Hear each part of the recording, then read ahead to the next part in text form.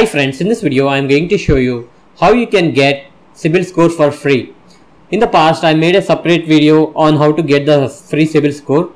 I will give that video link in the description box. In this video I am going to use the HDFC Life website to get the CIBIL score for free. I will give the link of this website in the description box. Please do check that. The homepage looks like this. Over here you have to enter your first name and last name. Click on let's start and select the gender and click on next and enter your mobile number and the email id and after that you need to click on this option. I authorize HDFC Life to contact me overriding my registry on NDNC and click on next and enter your date of birth.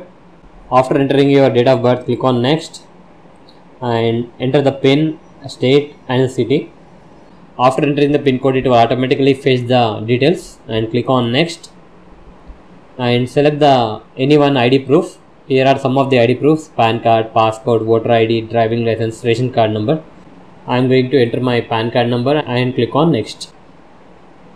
Now a otp will be sent to your email id you have to enter the otp over here.